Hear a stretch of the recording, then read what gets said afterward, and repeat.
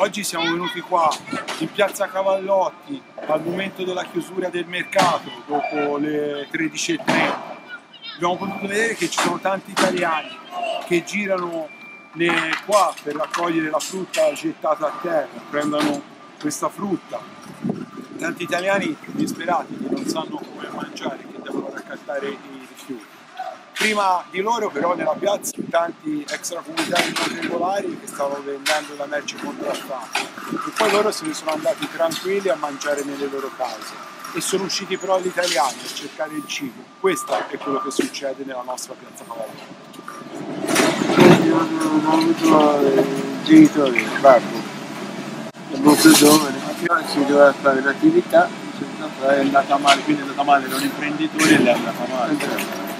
Senta, ma lei ritiene giusto un italiano come lei debba chiedere l'elemosina, mangiare nella spazzatura e ci sono persone irregolari sul territorio che vengono qua, vengono merce contraffatta. Eh, eh, Mi sembra una cosa giusta. no, no, no.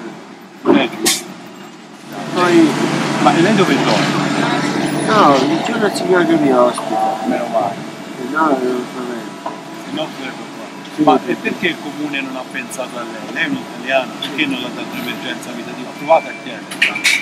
Sì, si è chiesto tante cose, Quando lei vede uscire da questi centri degli immigrati questi ragazzi giovani, forti, con l'iPhone, che vengono dall'Africa, che non lavorano, che gli danno a mangiare, sì, lei non sente un senso di ingiustizia, sì, sì, sì, lo percepisce.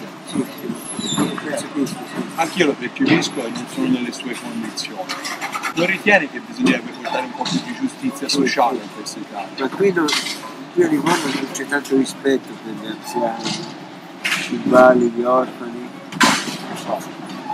gli occupati.